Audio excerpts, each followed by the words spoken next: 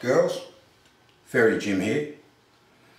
This uh, knot or bend, it's actually a hitch we've got here, it's called a buntline hitch.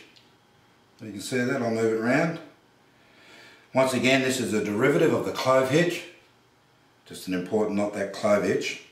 Okay, this is um, very uh, useful for attaching lines to rings, bars, posts, anywhere where you need a compact and secure knot. Very good today with uh, modern ropes, all the modern slippery ropes. This knot will tighten up and uh, often they do it as a slip knot so they can get it undone because if it tightens up under load you need a marlin spike or a knife to get it done.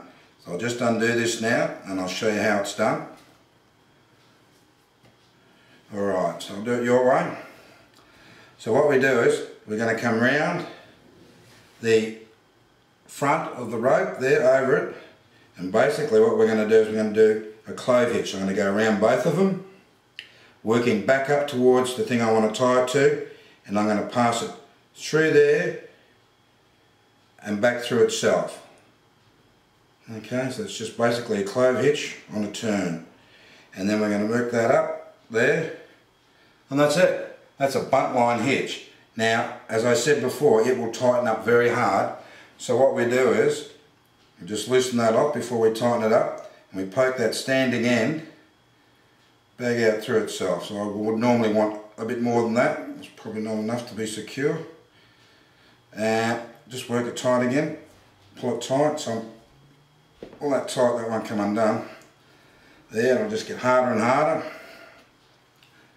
And when it comes time to undo the knot, you just pull on that, out it comes, and it's finished. Well, that would have been a slip buntline hitch. One more time. Great with modern ropes today because they're very slippery. All the nylons and whatever. So we go around, put a bigger tail on it this time. There we go. So I'm going to go once down across the front of it. I'm going go completely around both of them, back around the back one, and up through the middle, there which is a clove hitch. Pull it up tight, work it up towards the top, pull that tight, it pulls that way, that'll just tighten and tighten and tighten. It can take quite a moderate load before, you know, probably the rope will break before the knot comes undone. They used it in olden times to uh, tie sails to spars. There you have it, buntline hitch. And as I said, just loosen it off here where that end part comes in. It's tightened up already. Doesn't take much. Very secure knot.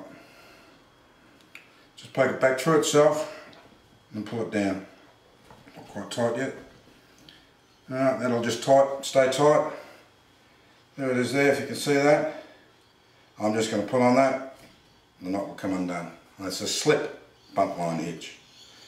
Right guys, that's it for today. Hope you enjoyed that. See you later.